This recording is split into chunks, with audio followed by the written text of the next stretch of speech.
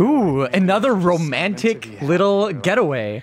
Is Alex gonna almost fall off the boat again, and Zach's gonna rescue him, and they're gonna make out all wet? Fuck it all. Fuck it all! Okay.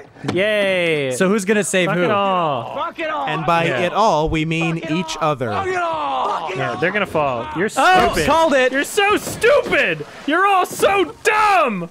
Fucking called it. I can't it. swim. I'm I too called gay. I got knocked out by the force of the water because I'm so dainty. I was gonna water tension knocked you out. You deserve to die. Oh my Ghost god. Bryce! I love Ghost Bryce! Remember, because he drowned? I pushed him in the water. Now I'm in the water. Oh, I Ba, ba, ba, ba, ba. I love how Bryce was there before he opened his eyes. He just fuck the boat. He swam all the way to the shore What? with Why him. wouldn't you just swim back to the boat?